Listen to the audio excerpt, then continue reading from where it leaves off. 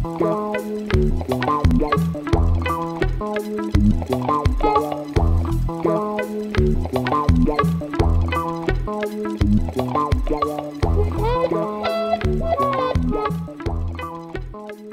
a lot. I, thanks you. Uh, I'm very glad to be here, so thanks a lot for the organizers. So the yeah the the, the title of the talk is uh, space actions.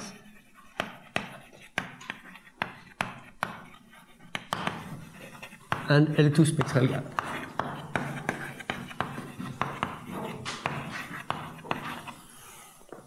Actually, the, what I'm interested in in in general is uh, well, Banach space action is something that I like a lot, and it's what I like is to understand in general the the interactions between between the let me see how the geometry of a Banach space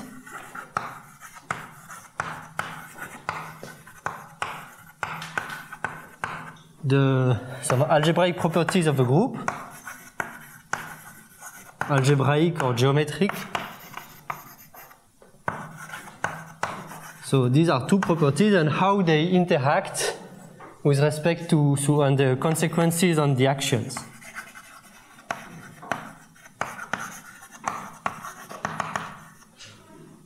So Banach space is the X, groups will be G, and actions of G on X. Okay, so so this is really something that I like a lot to understand in how the geometry of a Banach space and the algebraic properties of groups interact in order to allow or not allow some kind of actions of the group on the Banach space.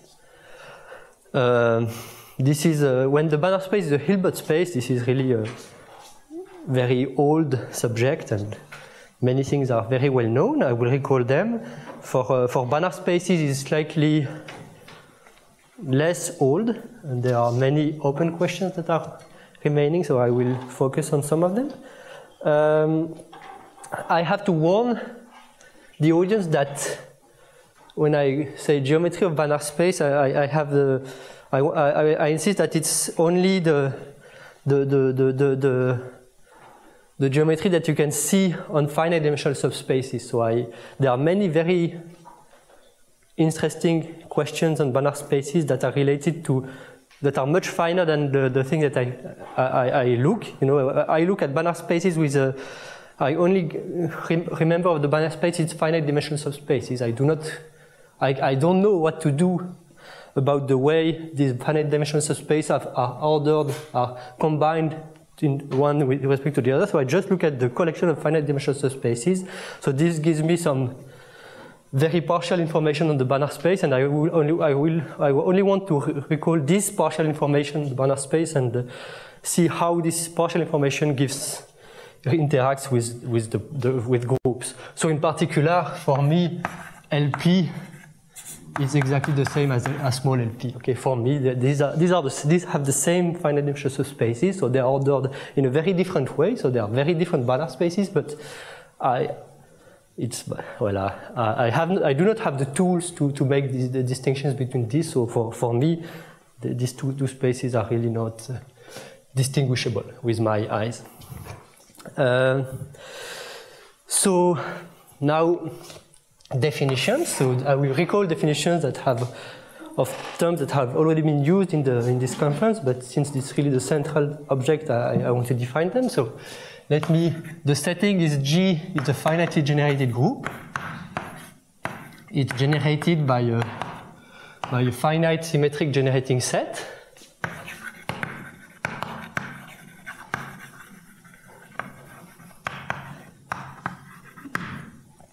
And as is customary, this allows to put, to, to put a metric structure on the group. So we, we define the length of an element g in G as the smallest integer such that G can be written as a word of length n in the generators. So G is a product of n elements in the generating set. And in the same, uh, so this defines me the distance to the origin, and I can define the distance between two arbitrary points and just the translating. So the length of G inverse H. So th this gives me a, this put a, a distance on the group, uh, which I will use later. So the, the property is uh, that I, I, the classical property, two properties that I want to recall is the fixed point property. So when acting on Hilbert spaces, so we say that G has the fixed point property when it acts on a Hilbert space. So G has FH if every action of G by, by isometries but you know by Mazur's theorem that every isometry is affine. So by affine isometries on a Hilbert space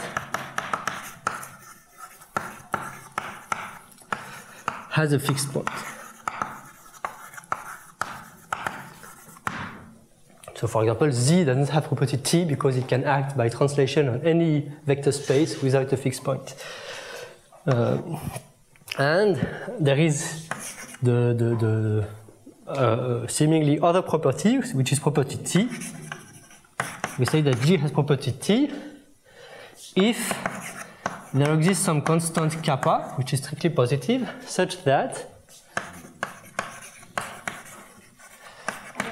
for every unitary representation of G on a Hilbert space, we have for every vector in this Hilbert space the displacement, so the, the maximum over all generators of the amount by which psi is moved by them, so this is quantity, is controlled by below by this constant times the norm of psi. So of course you cannot take the norm of psi if the action was trivial, so if, if there was no action you, you cannot do that, so you have to take but to quotient out by the space of invariant vectors. So the space h pi is the space of invariant vectors.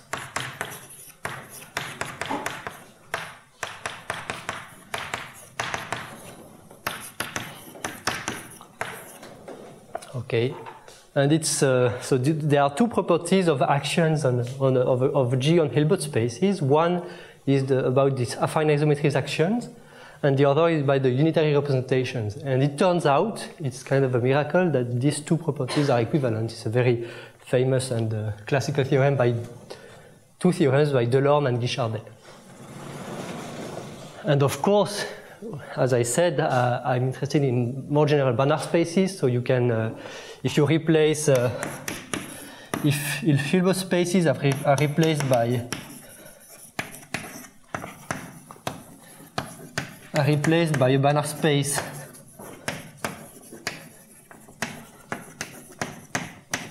X, we, we, we obtain the fixed point property Fx and the Banach space pro property T with respect to Banach space is Tx. Uh, I should say, in relation to, to, to the subject of this conference, that this is a property T and property Tx are, are, actually they are they completely fit in the in the topic of, of, of many talks in here because they are they are really the the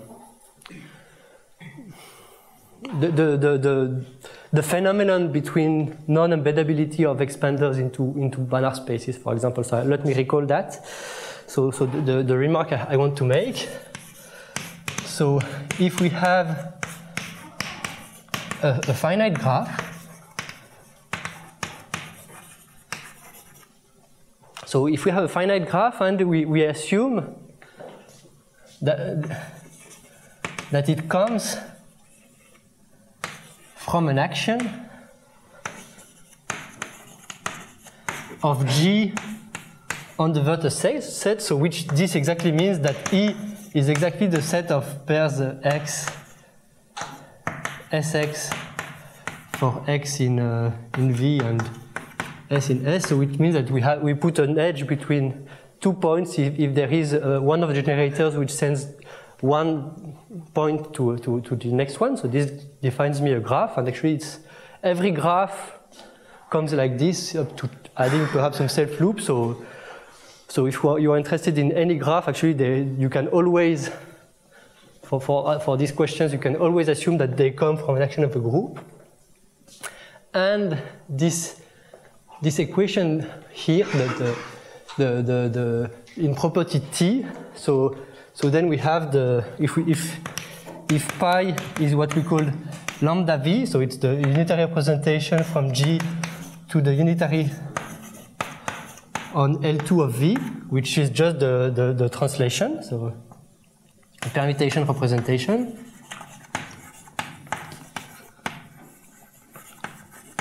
Then the, this, this inequality here is, is, uh, is exactly saying that the, this graph is an expander graph.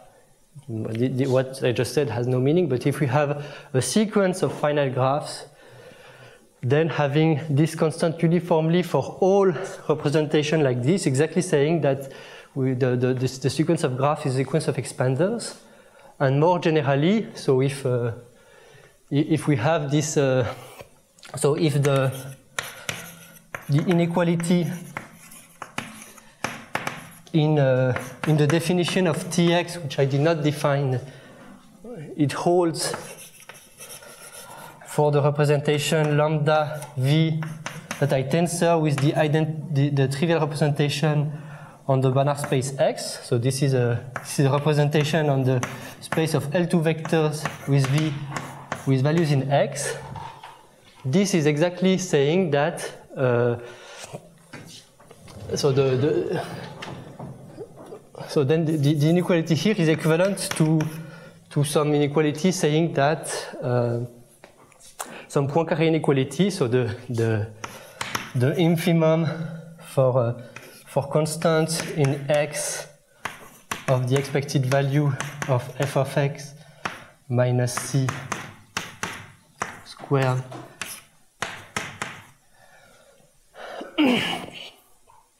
Actually, I, I, I, want to take an arbitrary p. So if we work with the representation on LP, then this is less than some constant pi. So the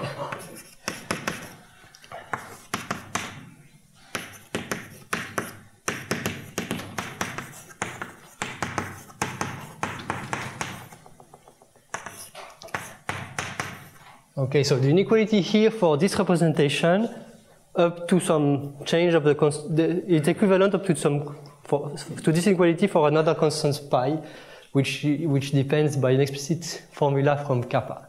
There is an explicit correlation between kappa and pi. So, so the, this, this is called the Poincaré inequality, and it's exactly the good inequality that prevents from having a nice embedding in, of the graph into, into the Banach space X, okay? Because if, if we have, say, let's say, if f, so f is a function from v to x. So, so if f is a one Lipschitz function on the graph, so then the right-hand side is, this is less than one.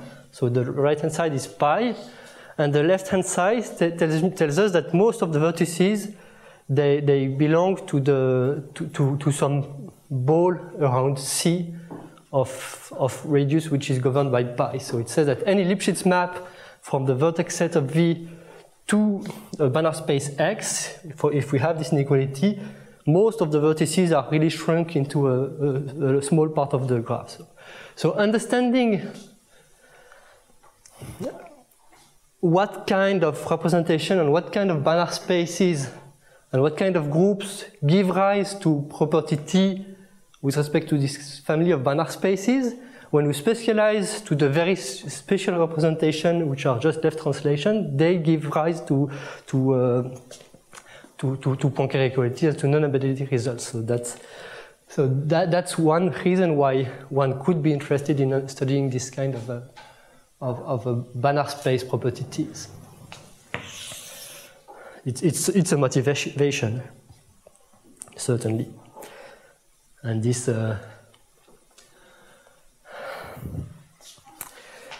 yeah, the, the, the, the, famous results of, of, uh, of Laforgue, which constructed the first example of, of super expanders, so the, the expanders such that there is this kind of inequality for any super, super reflexive Banach spaces, they are exactly provided in this way. They prove the result about arbitrary, he proves the results about arbitrary representations, and specializing to these representations, he gets the, the Poincare inequality and non-modality results. Okay.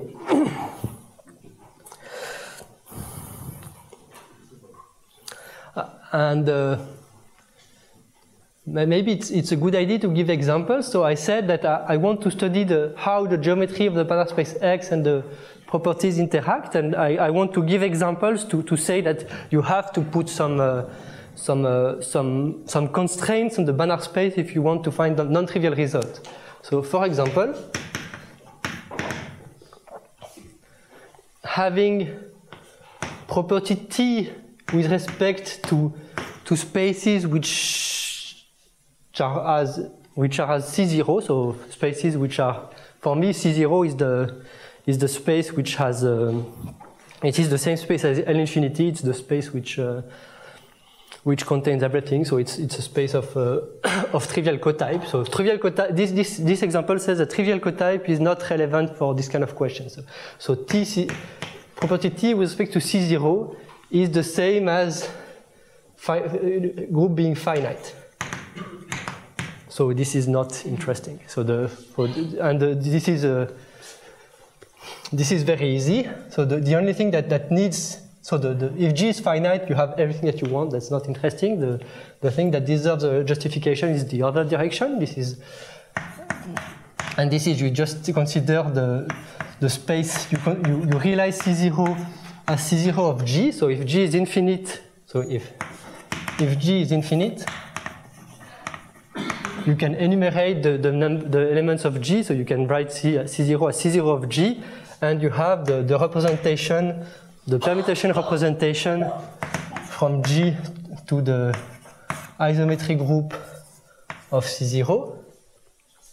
And you, you can say for every small lambda strictly less than 1, you can consider f lambda, which is f lambda of g, which is lambda to the length of g. So this is a function which goes to 0 on the group, so this belongs to C0.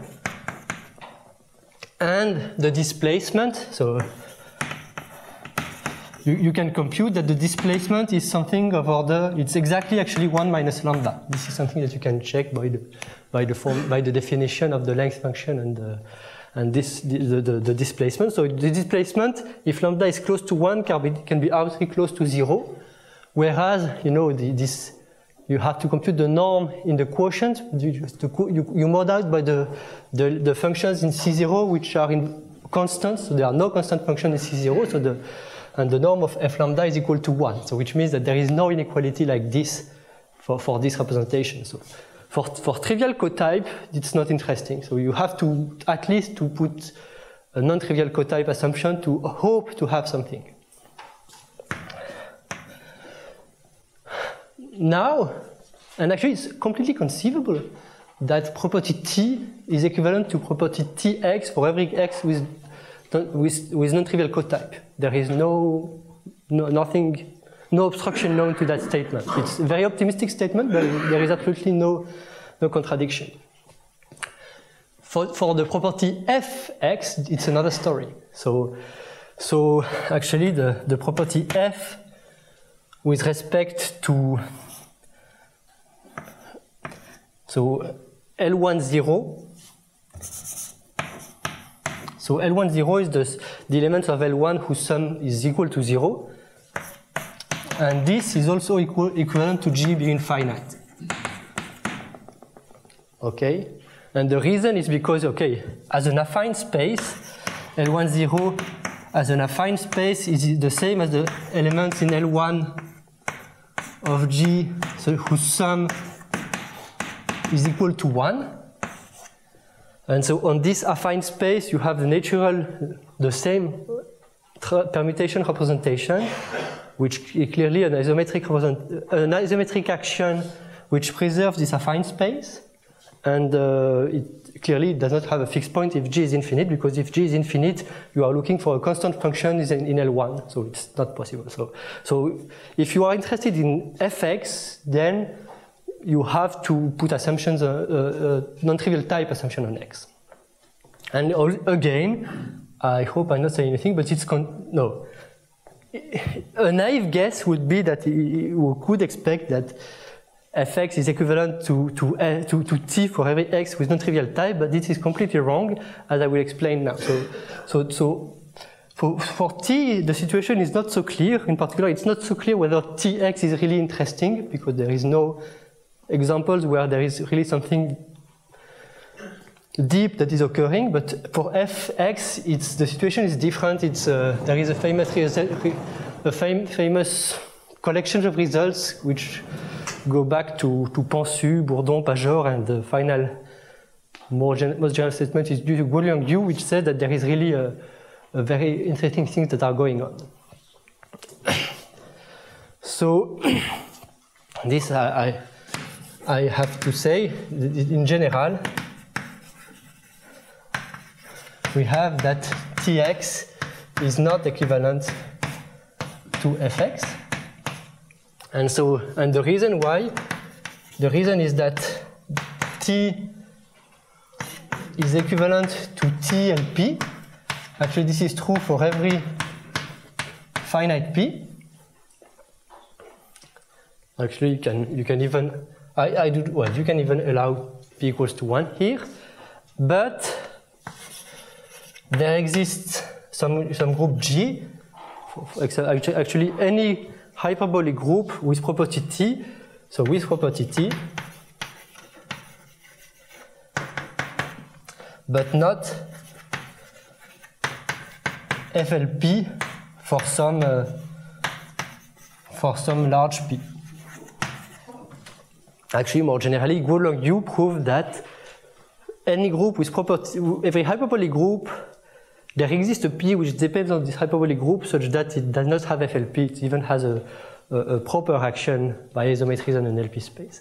So this, this, this example shows that it's really, FX is a, it's a challenge to study FX because there are things that are going on. Maybe just to,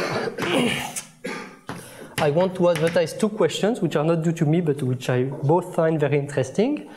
The first one is a question that that one that was give, given by Cornelia Drutu, which is to understand. It's a natural question, but uh, uh in part, uh, particular case, understand the, the set of P such that G has FLP.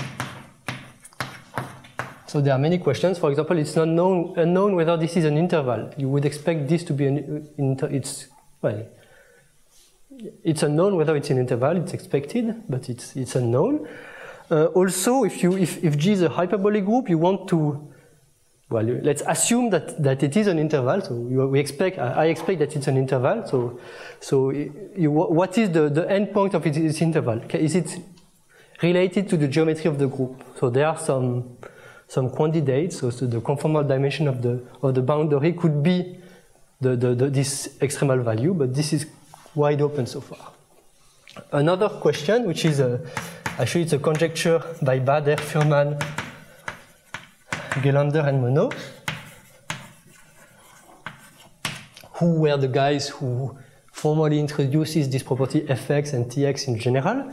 So they conjecture that SL3z has the fixed point property with respect to x for every x which is super And uh, this, is, this conjecture is known for uh, in, in the non-Archimedean case. So for SL3, if you consider replace z by the polynomials in some uh, in some uh, with coefficients in some finite field. So this is known for this this kind of groups, and it's a theorem of, of Vincent Laforgue, famous theorem by Vincent. And in the real case, so this, this should be considered as a real analog of this, this is still open. And these, both questions are very interesting. Then there are many other questions, so you could, for SL2Z, you, could, you cannot get, hope this, but you can hope this kind of phenomenon for specific representations. That's, that would be extremely interesting uh, as far as super expanders are, are concerned. because the, you, you, you could produce, well, you could produce large girth super expanders, which is a major open problem. So the, the, there are many, many questions related to that which are wide open and which, which are, in my opinion, very interesting. Uh, yeah, so these are the questions. Uh, I, I, also wanted to say something. So this is the, as I said, for Hilbert spaces we have equivalence. This is the famous theorem of Delorme and Guichardet. And actually, as I said, the, the formal, formally this is not true, but there is a, well, recently I, I found a, a I think something which is the formal analog of the Delorme-Guichardet theorem. So what is the, the correct Banach space uh, Delorme-Guichardet theorem? Actually, it's, it, it's, it, there is a, a theorem, but it, which no longer works with isometric representations. So, so we have that, I, I will state it just for for LP spaces for simplicity, which says that FLP, so let here I have to, to, to remove the p equals to 1 because I, as I said, uh, non-trivial non trivial type is not interesting for me. So FLP, this is equivalent to a form of uh, TLP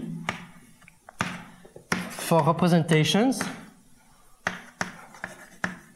So there exists some epsilon zero strictly positive, such that for representations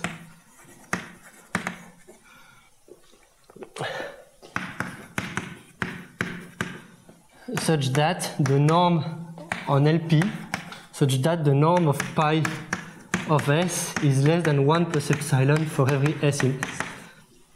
So the if you are so this this example of Guoliang Yu and the, everything else is, uh, says that if you work with isometric representation, this, is, this equivalence does not hold. But if you're allowed to work with almost isometric representation, this is the world where there is really an equivalence. And more generally, uh, you can replace the LP spaces by any class of super reflexive Banach spaces which is stable by ultra products. So of course this is true for LP spaces, but more, you, you have a, uh, something which works in general for, for classes of Banach spaces. So th there is, so this, this was saying that there, there, there, there, does not seem to be a formal analog of the Delorme-Guichardet theorem, but there is one a, if you allow to work with slightly strange objects. Means that you're building examples of actions which are not isometric, but there's Yes. So can you give us an example? Yeah, it, it's very, actually, I, I, I, present it in a mysterious way, but if you do not have FLP, it means that you have representations which are not, well, without fixed point, and actually it's you, you, you, you, you uh, um, No, uh, yeah, yeah, uh, yeah so, sorry, I was going in the other way wrong. So, so the, if you do not have FLP, it means that you have a, representation, a uni, uh, an isometric representation, and uh, an affine action for which has this representation as a linear part, which um, which is, is which do not have a fixed point. So actually, you can enlarge the space. You can add one dimension in order to realize this affine action as the restriction to an affine hyperplane of, the, the, of another representation. But the thing is that this representation has no, has no reason to be isometric anymore. Because you, well, the way you, there is only one reasonable way to construct it, and if you look at the formula, it does not provide an isometric representation. It, it just provides a representation and for which you can, by choosing appropriately the norm on the space to which you have added one dimension, you can assume that the epsilon is as small as you wish. And so this, this is a way, actually any, any affine action produces you uh, a family of, of representations for where epsilon can be as small as you wish. And uh, this is the way to construct representations which are a bit strange from, from the data of, a, of an action which is, has no fixed point. But the, the surprising thing that there isn't a representation even which isn't isometric yet, let's say distortion 2 or whatever, because yes. you take big powers, is because you're saying it's actually an isometric representation in the subspace. Yes. and, and You ju- you have- now five is four dimension. So there's Yes, yes, yes, yes, yes. Unlimited subspace. Yes, yes, yes, yes. Because I know it's very amazing. No, no, no, no. That, uh, I agree. Yeah. So, so F little LP is, is the same as F capital LP? Uh, n- not at. Uh, no, no, no, no. But that that n- no, it's different. Actually, even T small and capital LP and T little LP are very different.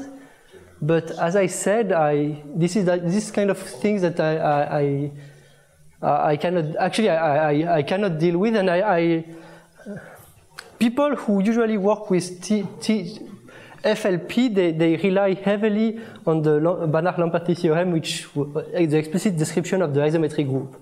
And this is something that I do not want to do because uh, my, I, I, do not want to look at the Banach space as a whole. I just want to, to remember its finite dimensional spaces, so I, I cannot rely on, I, I refuse to rely on any knowledge of the isometric group. I just want to, well, this is the kind of a challenge that, that if I want to have results which which hold which are invariant under renorming and invariant under uh, T cap, but T capital LP is the same as T little l. no no no T capital T capital LP is the same as T so it's same as T big L2 and same as T small L2 but but T for whenever P is not 2 T little LP is much uh, weaker I misspoke. I meant this version of T capital LP, yes where oh yeah it's I think it's the same these are the same, right? For T probably yes l. yes This, this Probably. Yeah, I think it's you. You, this, you, you are almost certainly correct. Yeah.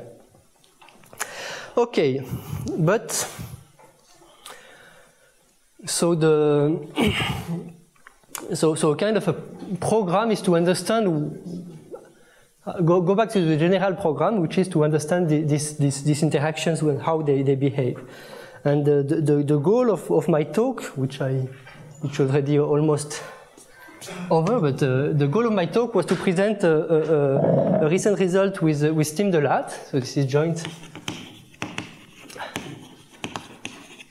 with Tim de Laat, where we uh, investigate the this for the random groups in the in, in Gromov's uh, random group models, and more generally, we, we, we, we investigate whether there are Banach space versions of a famous criterion by Żuk to property T. So I have to recall the, the criterion by Żuk to property T.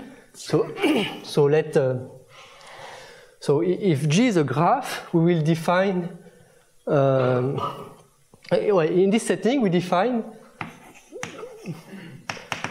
a graph which is, which will denote L of GS, L because it's, it's naturally associated to, uh, to the link in some, uh, in some, uh, in, in some uh, simplicial complex, but I will describe explicitly a graph. So this is a graph with vertex vertex set, which is equal to S, and we say that uh, S is equivalent to T if and only if there exists U in S such that S inverse TU is equal to, to the identity in the group. So you have to, to so you, you, you have here the identity, here you have S, and here you have T, and you, that, what it says is that there is a, a generator U in the Cayley graph such that you have this going in this loop gives you the trivial word, okay? Thank you. So, so whenever you have a graph like this, you can associate it to, to it. A, a uh, when you have a group, you can with a generating set, you have a graph associated, and the, the theorem.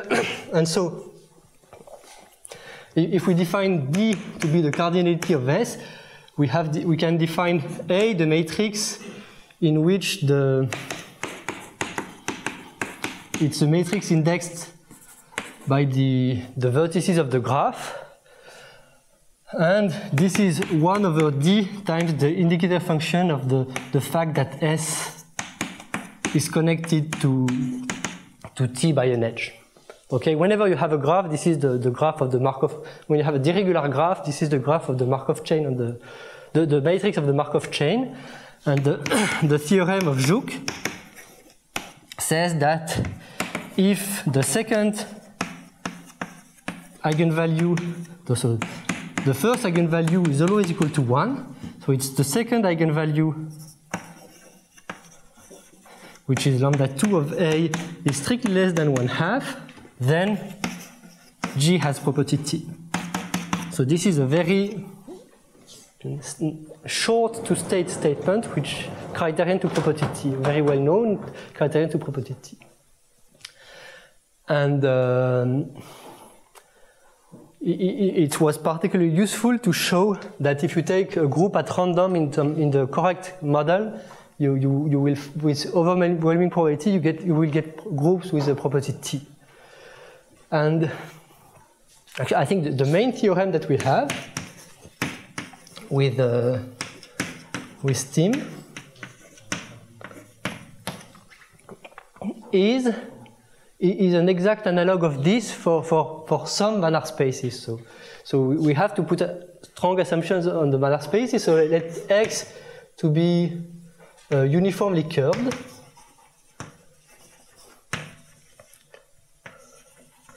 So uniformly curved is, is, a, well, a, property introduced by Pisier, but for example, it's, uh, it, con it contains LP for P between 1 and infinity, or uh, spaces isomorphic, so you can renorm it. This is the property that is invariant under renorming, also invariant under uh, finite representability, so it's a property that I can understand.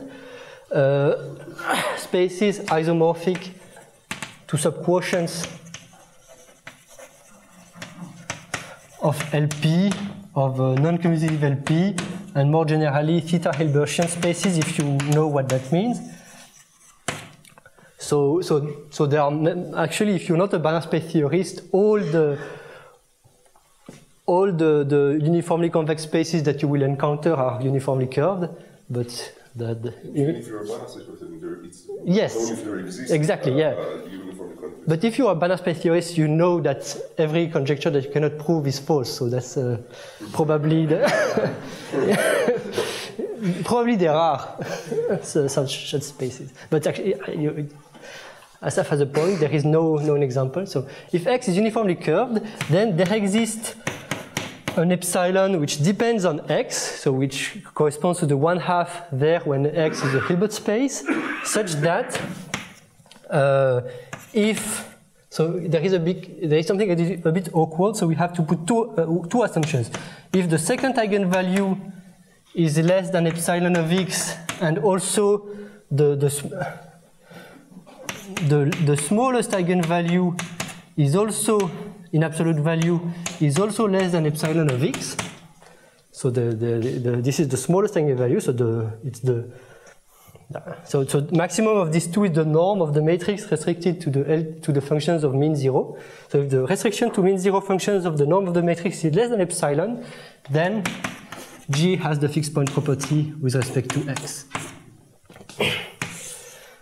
Okay, so this is a this this is this this explains the the the the the, the, the title of the talk because the the thing that I want to stress on this theorem, which we the the, the reason why it it is it can be useful is because it relates some properties of the Banach space, so Banach space geometry, with respect to something which is purely Hilbertian. So in particular, if you if you are a bit familiar with the community of random graphs, and random matrix community, you know that they, they know almost everything about the spectrum of random graphs, and many, many models. So in particular, if you take a random group for which this matrix is a nice random graph for which they, they have they understand everything, you get immediately, with absolutely no work, many examples of groups, these random groups, which has fixed property on, on a large class of Banach spaces.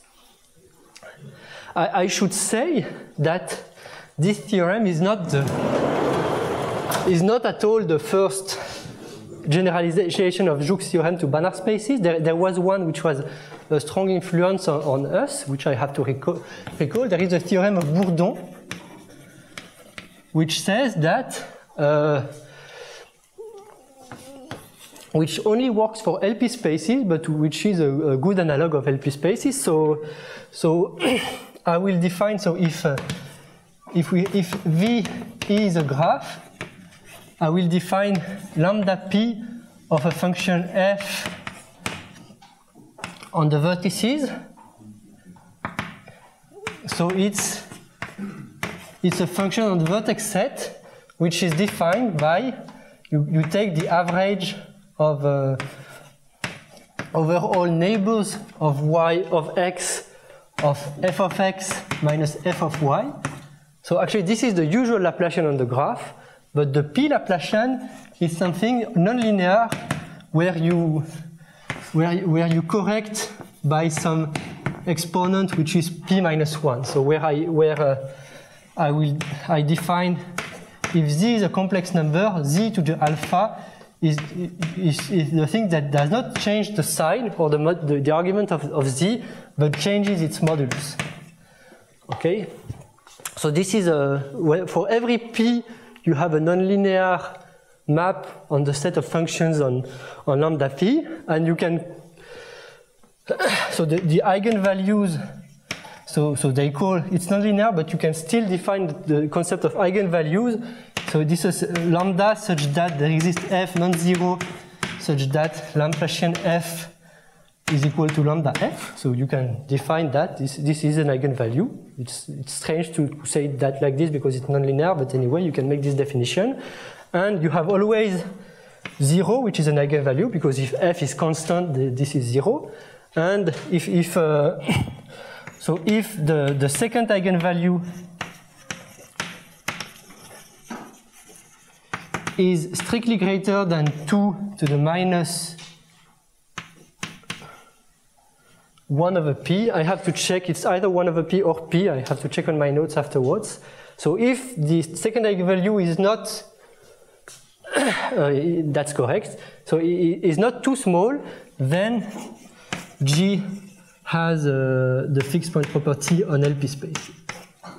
So this is a very, this is also uh, the correct analog of, of Żuk's theorem for, for LP spaces, but the drawback is that understanding the spectrum of this P Laplacian is, a, is something that is much more complicated. You mean when V is the graph uh, of LGS? Yes, yes, yes. of lambda P for, for the link. Thank you. Yeah. And so this theorem of Bourdon actually was used by the by by by by uh, Drutu and Mackay, Cornelia Drutu and John Mackay, who applied this this theorem to random groups, and they say that random groups, they prove that random groups have the fixed point property on LP spaces. So for, for every P finite, random groups in the correct model have FLP with probability going to 1. So, so, so this, this is, uh, I, I, am sorry, I, I, I, am going way after time, so I, I, my, I, had, I wanted to, to define what, what is the probability measure on the group that you put. So there is a, there are many models that were introduced by Gromov random groups. And there, there, are some models for which it was known by Gromov that these groups are, are hyperbolic with probability going to 1. And the same, the, the, the theorem here says that with, with, if you fix P, then they have FLP with probability going to 1. So if P is 100 million, then for with probability going to 1, they have, F, they have FLP, but by this theorem of Yu, for P even larger, we know that they, they do not have the fixed FLP. So they, there is, this theorem was saying that actually the, the, the, the, the, the largest P such that you have FLP for hyperbolic group, it can be unbounded. So these were the, were the first examples like this, I think. Uh, and uh, well, this theorem was the motivation of our result. We wanted to understand the, the theorem, which is, has a difficult proof, and uh, this way we have a much much more direct proof of, of the result and it applies also to, to other spaces. And I think I have to stop here. So thank you.